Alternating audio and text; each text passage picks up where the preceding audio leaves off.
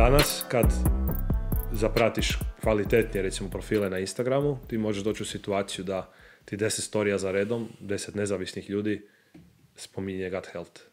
Neš, a neki aspekt gut healtha, neku važnost gut healtha i onda jednostavno vidiš da je, ja to kažem, kod da je napalm bačen, jer je cijela znanstvena zajednica zapravo e, i popularna zajednica koja prati znanost, medicinu, prehranu, zapravo da je to ono baš, baš buknulo. E, zašto? Pa ja bih rekao da je to ponajviše posljedica toga da se napokon neko sjetio staviti, e, napraviti znanstvenu studiju gdje će jednu ispitivanu skupinu napraviti prehrambenu intervenciju, da će jedna skupina uh, konzumirati fermentirano kroz neki određeni period i usporediti priču s o grupu s fermentiranim sa grupom koja je jela samo plant-based prehranu, odnosno samo puno vlakana, što je do sad bilo e, smatrano kao zlatni standard neke zdrave prehrane za zdravlje cijevnog mikrobioma. Tu studiju su napravili e, Justin Zonenburg, njegova žena Erika, Christopher Gardner i ekipa sa, sa Stanforda dominantno i dobili su ono što se niko nije nadao. Da, znači, upalne parametre su pratili, opet se mora nešto kvantificirati. Dobili su dramatično snižene upalne parametre, ne sa pričom uh, grupe koja je jela plant-based food, nego baš s grupom fermentiranog. I to čak fermentiranog, dosta ono komotno fermentiranog, nisu oni uh, dobivali standardizirane obroke, nego doslovno su im rekli idi kupi ono što misliš da je fermentirano. I čak s tim su dobili dramatične rezultate. I praktički kad se to dokazalo, ono, otvorila se ne Pandorina kutija, nego neka, bi rekao, dobra kutija. I gdje je Zonenburg postao ono, čovjek koji je najda, najcitiraniji u, u nekom svijetu znanosti i nutricionizma u zadnjih šest mjeseci. Kod Hubermana podcast, eh, Bil Bulsijević, Zoji, znači doslovno svaki dan možete na nekom profilu vidjeti da ga neko citira, neki njegov quote ili neki uh, Simon Hill je recimo to napravio prekjučer jednostavno, a to su legit ljudi gdje ne, ti, te ljude ne, ne bi sebi išli ovaj, raditi neke probleme da, da komuniciraju nešto što nije znanstveno dokazano.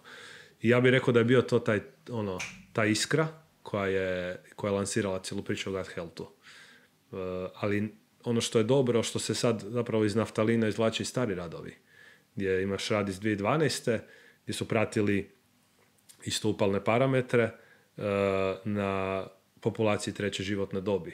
E, ljudi, između ljudi koji žive u populaciji, ljudi koji su hospitalizirani ili su u nekom, ajmo reći, staračkom domu.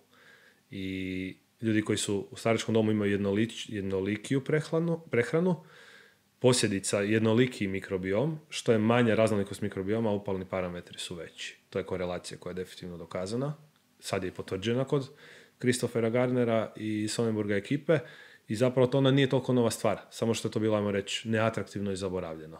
Ovo je samo opet koji ova meta-analiza kod fitoestrogena, deset godina kasnije smo dobili potvrdu iste priče, ali sad je s tom potvrdom awareness stravično narasao. Od čega se sastoji naša probava? E, cijeli probavni sustav misliš ili misliš na mikrobiom i mikrobiot? Recimo cijeli probavni sustav. Znači, ajde idemo ono, od, od početka kako bi mogli staviti tu taj gut health u neki ono. Da, probava kreće u ustima. Znači slina, slina ima herpetinu enzima koji kreću e, razlaganje hrane. Čak jedan od e, potencijalnih mogućih, da sad to nije baš, mislim, pre potvrđeno još, ali sigurno ima nešto o tome, da ljudi koji imaju manju količinu alfa amilaze, odnosno enzima koji razgrađuju ugljikohidrate u slini, imaju manju toleranciju na ugljikohidrate u prijevodu kao njima više štete i onda možda se opet možemo vratiti na tima spektora. Možda jedan od faktora zašto će nekom ugljikohidrat smetat više, drugo manje je i količina alfa amilaze u ustima. Znamo se iz anatomije, znači ide hrana u jednjak, zatim ulazi u želudac, gdje je pH, ovaj, ja bih rekao, ono ne da bih rekao, nego pH želučane kisline je oko 1 do 2, a na skali od 0 do 14 znamo koliko je to kiselo, to je možda jedna od najkiselijih stvari koja postoji u ovaj, prirodi uopće, opet tu pada u vodu ova priča o alkalnosti, kiselosti organizma i cijeli taj mit, mislim smo o tome pričali prošli put. Vrlo lako se ono, se samo common sensom mogu, može dosta toga zaključiti. Uh, I nakon želuca, kad želučna kiselina odradi svoju priču, ulazi u tanko i debelo, tanko pa zatim debelo crijevo i otpadni materijal izlazi što se kaže na drugu stranu. Gdje onda počinje priča sa gut healthom? E, priča sa gut healthom lagano počinje u tankom crijevu, ali zapravo je ekstremno dominantna u debelom crijevu. Populacija mikrobiote. Mislim, mi moramo e, biti svjesni da mikrobiota e, postoji na nama i u nama po cijelom tijelu, ali ekst- brojčano, ekstremno najbrojnija u debelom crijevu. U prijevodu to znači da postoji na našoj koži i da smo se vrlo vjerojatno ekstremno naštetili cjelokupnom zdravlju, cijele populacije sa korištenjem dezinficijensa. Jer smo mi s time u- doslovno ubili svu mikrobiotu koja je na nama. A ona postoji i ona nas, ajmo reći, čuva. Sve te blagotvorne bakterije i drugi mikroorganizmi, oni nas čuvaju i to je neka fina ravnoteža koju smo, ja bih rekao, s tim dosta kompromitirali, ali ko je znao, što bi se reklo, odnosno, evo, gut health, znači doktori, hoće sada ideš napraviti anketu, ko bi rekao da ti dezinficijensi štete? Manija ljudi, vjerojatno, a, a dokazano štete i to. E, mislim da štete ekstremno, U kojem pogledu? Što će na, se- Na, ko- na koji način? Ajde, ajmo definirati da ne ostane to ono... u zraku. Da. Na Pa- koji način, e, recimo, možemo sta- staviti neku poveznicu između dezinficijensa i e, mikrobioma na našim rukama i našeg zdravlja? Pa isto je recimo kad, e, ono, znači kad fizički ili kemijskim putem ukloniš mikroorganizme sa svoje površine ili svog organizma, ti si direktno kompromitiraš imunitet, odnosno imunosni sustav. Jer e, imunosne stanice opet postoje na cijelom tijelu, naj, e, naj ovaj, koncentriranije su u, u probavnom sustavu. Što u prijevodu znači da su sve bakterije naša prva linija obrane, dobre bakterije ti, mi svi dezinficijensom, antibioticima i ostalim ovaj, tvarima iz okoliša, patogenima ili svime čime možemo ukloniti uh, bakterije, mi zapravo skidamo svoju liniju obrane, prvu.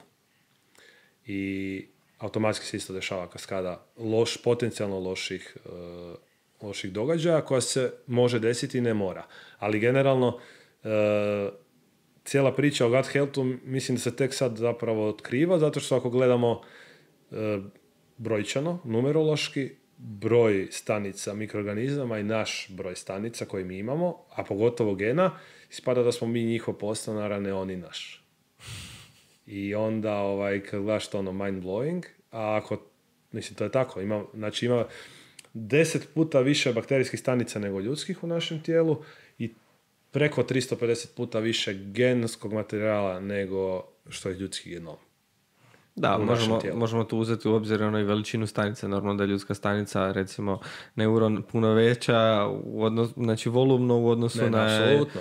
jednu znači, bakteriju. Znači cijeli taj mikrobiom, odnosno mikrobiota koja, rezidi- koja je na nama i u nama, teži maksimalno 2-3 kile. Mi imamo svi puno više kila, ali brojčano smo, Da, su ok. nas daleko nadmašile. I, ali to je tako od kad čovjek postoji. Odnosno, bakterija je bila valjda prva, prvi organizam koji se krenuo razvijati i dok bakterije nisu krenule proizvoditi kisik, nije se moglo desiti. Baš sam čitao fenomenalnu objavu od Stribora Markovića na fejsu, piše o kolagenu. Dok kisik nije postojao, kolagen nije mogao nastati, zato što je jedna od aminokiselina koja čini kolagen, ima kisik u svojoj strukturi. A kolagen, odnosno kolagen daje neku 3D mrežu našoj strukturi, našem tijelu i da nema, nije bilo bakterija, ne bi bilo kisika, ni za disanje, ali čak ne bi ni strukturno puno toga moglo nastati bez kisika, a kisika nije bilo dok bakterije nisu krenule proizvoditi. I onda kad čitaš te ono stvari, onda ono, ono, sve je baš ono, zastrašujuće s jedne strane, s druge strane fascinantno. I raste awareness o tom mikrobiomu, o mikrobioti našoj i kako ju sačuvat, kako joj pomoć, kako joj ne odmoć bar. Ono, dovoljno da je... Koje su da to je- metode, kako je pomoć, odnosno ne odmoć. Na koji način i kako to utječe jel, u našem organizmu. Znači, koja bi e, znanstvena struktura bila iza toga svega. Da, znači ono što isto moramo, vrlo je zapravo slična priča ko sa svaka, na svaku osobu će prehrana djelovati drugačije. Isto tako svako od nas ima svoj jedinstven mikrobiom. Znači, možda će s vremenom vjerojatno neće biti potrebe, ali moće razlikovati čovjeka ko otiskom prsta sa mikrobiomom jer je jedinstven. Ali ono što je zajedničko, e, recimo puno radova ima na pretilim ljudima, jer su otkrili dosta jaku vezu između mikrobioma i pretilosti, što na papiru ne bi trebalo uopće biti calories in, calories out i to je to. Ali ipak kod neki, imamo puno slučajeva gdje možda to baš ne ovisi samo o tome. Na kraju krajeva ovisi kad sve, ali ima hrpu e, faktora koji utječu na, na, na tu jednadžbu, a možda je jedno od njih i mikrobiom.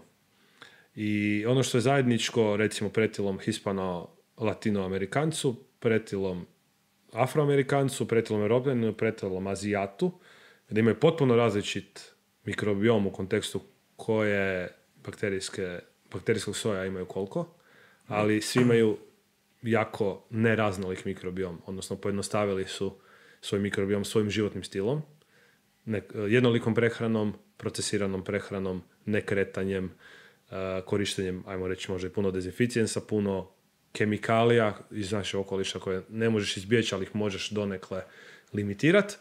I kad to sve zbrojiš, smanja raznolikost cijevne mikrobiote, kompromitirano metaboličko zdravlje putem povećanja upalnih parametara koji se mogu vrlo lako izmjeriti.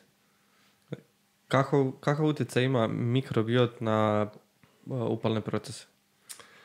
Pa indirektno ima, znači direktan utjecaj samim time što uh, upalni markeri, znači recimo glikani koje Gordon Lauc i njegova ekipa iz Glikaneđa mjere i drugi upalni proteini koji su ovaj, oni, njihova ekspresija je veća, odnosno ima ih više, što je raznolikost mikrobiote manja. Sad, da li nisam išao iskreno u tu dubinu šta se mora desiti da jednolikost mikrobiote rezultira povećanje upalnih parametra, ali rezultira. Znači jednostavno kompromitirano metaboličko zdravlje, kompromitirani imunitet, što samo znači zapravo znamo imunosni sustav, imunosne stanice imaju proupalni, protuupalni put i stanice. Brojnost proupalnih stanica, interleukina i, i ostalih e, stanica je brojnija što nam je jednostavnija mikrobiota. Između ostalog i zbog toga. A, zato tu služe neki proizvodi, nekakve namirnice koje e, imaju taj učinak na poboljšanje našeg mikrobiota. Kakve su to namirnice, zbog čega oni nastaju i na koji način oni pospješuju jel, samu probavu? Da, ono što bi isto volio prije reći, taman mi je dobro nekako rezoniralo na tvoje pitanje, Znači mi e, našu mikrobiotu naslijedimo, dobijemo ju rođenjem, znači prolazom kroz vaginalni kanal majke. Carski rez ne, znači rezultira ne prolaskom kroz taj kanal i redom, ne redom, nego vrlo često e, te bebe imaju malo kompromitirano zdravlje, sad nećemo ući u to, imunosni sustav. Ne idemo sad u detalje, ali tu se isto, isto može... To se čak i u e. srednjoj školi spominje, tako da... Znači, ali mislim da možda niko nije spominjao da je to, na primjer, možda baš zbog mikrobioma nego se mislilo da je to zbog nečeg drugog. Je, baš se, baš se sjećam e, na predavanju jednom u srednjoj školi je bilo spomena tome da dijete jel prolaskom kroz vaginalni sustav e, već samim time e, s obzirom da on živi u nekakvim sterilnim uvjetima, mislim sterilnim živi gotovo u sterilnim uvjetima, on nije došao u doticaj njegova proba, on nije došao u doticaj sa nikakvim mikrobiomom jer on sve nutrijente dobiva putem pupčane vrpce, znači sa placente, majke i taj cijeli put i on doslovno njegova probava ne radi na način na koji mi zamišljamo da svaka probava radi, jer oni nemaju stolicu, e, prva stolica se događa nakon nakon poroda, ako se dogodi prije poroda, onda je to već nešto sasvim drugo i druga problematika. Ali ovaj, dobra stvar je da ljudi, e, ne, bilo je negdje nekakvo istraživanje ili spomen čak e, da djeca koja su rođena carskim rezom puno češće oboljevaju u uh, dječjoj dobi od raznih sinusitisa i ne znam uh, autoimunih bolesti. autoimunih bolesti, ali bio je baš naglasak na sinusitisima iz razloga zato što sam taj prolazak kroz vaginalni put i kupljenje te mikro te flore ovaj vaginalnog puta u organizam stvara već nekakvu vrstu zaštite, odnosno već nekakvu bazu mikrobioma koji blagotvorno djeluje na organizam i štiti od patogena. Da, lijepo je za zna da se takve stvari ipak već komuniciraju, da se to ajmo reći zna. Iako recimo interesantno e, novija istraživanja e, su pokazala da praktički nema sterilnog, da možda čak niti plodna voda, odnosno koja beba pliva nije sterilna, a ono što recimo sam saznao od Branimira Dolibašića koji je autor, e, suradnik na, to, na znanstvenom portalu Sidrani, što ćemo kasnije pričati, Sidrani Biom, nije napisao članak koji još nismo objavili, da se do sad smatralo da je jetra sterilna, odnosno da je, da je, da je znači, lišena mikrobioma, odnosno mikrobiote, ali nije. Znači, dokazalo se i na jetri, ali doslovno ove godine ili lani, da jetra ima svoju, svoju ovaj, rezidenciju mikro, mikroorganizama. Aha. To je ono, isto, ajmo reći, mind blowing. Nisam ušao u detalje, ali ono, jetra... Baš ako sad kroz pa, narednih par dana dođeš do nekog članka koji to potvrđuje ili informacije točno, pa proslijedi pa ćemo staviti dolje u opis. Da, jel, mislim da je to dosta interesantno. dosta interesantno, ali znači ono, stvarno postaje sve bitnije, vjerojatno ovaj, i očito se, evidentno se frekvencija znanstvenih istraživanja jako podigla u svijetu gut healtha. Vratimo se na prehrambenu intervenciju. Tako. Znači, do sada je uvijek bilo smatrano da je e, što više vlakana, vlakna su prebiotici, a prebiotici su po definiciji hrana za naše dobre bakterije. Ali, to najnovije istraživanje Christophera Gardnera pokazalo da što god ti jeo, ako je to jednolično, nije dobro u kontekstu upalnih parametara. Jer ako jedeš samo plant-based hranu, ti imaš popriličnu jednostavnu crijevnu mikrofloru zato što ovi drugi nisu potrebni. Tijelo je dosta uh, ekonomično i neće čuvat ništa što mu ne treba. Ista je priča iz svijeta fitnessa, duža, duža suplementacija testosterona, kad tijelo vidi da ga ima konstantno, jednostavno gasi proizvodnju u testisima i ono, ekonomičnost prije svega, tako naše tijelo funkcionira. Ista je priča sa hranom. I tako da onda i tu svaka restrikcija iz te strane pada u vodu jer bila dobra ili loša hrana, ako imamo neku jaku restrikciju, mi bakterije koje metaboliziraju tu hranu, ajmo reći da ćemo ih istrijebiti kroz vrijeme. Srećom možemo ih vrlo brzo vratiti. Znači to su vrlo brze promjene. Mi možemo dramatično... Koliko brzo? Uh, kažu da nakon tri dana velike nutritivne promjene ima je dramatična promjena uh, sojeva, odnosno ravnoteže sojeva u, u organizmu. Koju god hranu jele, potom je plant-based, znači što je jednoliki, a to smo ono rekli prije, povećava nam se ekspresija proupalnih stanica imunosnog sustava i onda su uh, ljudi, odnosno konzumenti iz grupe plant-based hrane zapravo imali dramatično lošije upalne parametre detektirane u odnosu na grupu koja je fermentirano. Idemo na to pričati. Znači sada, što ne znači da će biti vječno, ali za sada ispada da je fermentirana hrana najbolji alat za povećanje raznolikosti cijene mikroflore i time spuštanje upalnih parametara u našem tijelu. Fermentacija je metoda koja postoji valjda 6-7 tisuća godina, ali je moderna procesirana hrana zaboravila. Postoji za čovjeka, mislim da ona postoji puno prije. Ne, ne, postoji ona vječno, ali čovjek je shvatio da može konzervirati i čuvat hranu fermentacijom. E, danas imamo rasladne uređaje posvuda, rashladni lanac i moderna procesirana hrana ne poznaje fermentirano i mi smo kao ljudi zaboravili na to, ali naš mikrobiom nije zaboravio, on je evoluirao, odnosno e, po ovom istraživanju smo dobili dokaz da unošenjem živih bakterijskih kultura, namjerno izbjegavam riječ probiotici, kasnije ćemo reći zašto, e, e, širimo, odnosno radimo na raznolikosti cijene mikrobiote i time spuštamo opalne parametre, poboljšavamo naše imunosno zdravlje i, i svo metaboličko zdravlje. A što je fermentirana hrana? Fermentirana hrana je, e, evo opet citirat ću tim spektora, veliki 4K ili 4K fermentirane hrane su kefir, kiseli kupus, kimči kao korejski kiseli kupus i kombuča ili ti čaj, fermentirani čaj. Te četiri namirnice ćemo vrlo vjerojatno najlakše moći unijeti, unositi konstantno, ali ipak fermentacija zahtjeva i trud Koliko i znanje. Koliko konstantno?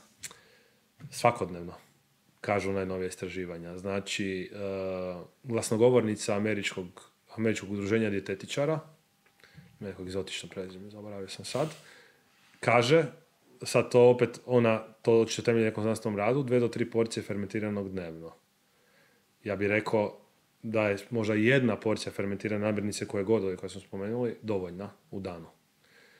Problem s fermentiranim je da uh, fermentirano neće imati baš predug rok trajanja, zapravo fermentirano, automatski prehrambenoj industriji nije preinteresantan jer ne može nositi profit.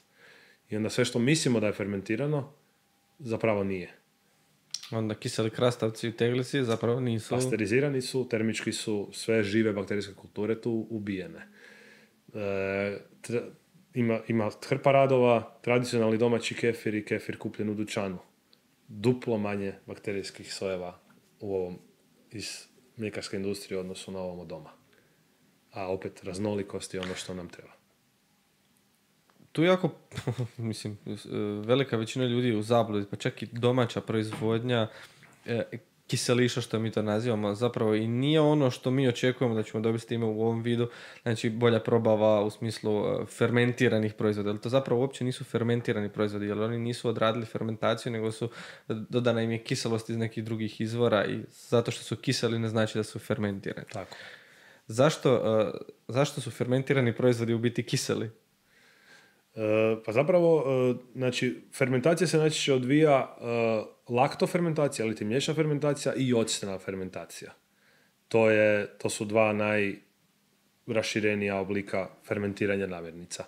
I naravno da će svaka od njih imati davati svoj, svoj specifični okus. S tim da opet dobro se rekao, nije sve kiselo fermentirano, ali definitivno sve fermentirano, ako je fermentirano octenom fermentacijom, imat će octeni okus i pogotovo miris, koji nije baš komercijalan i kojeg je realno teško prodat.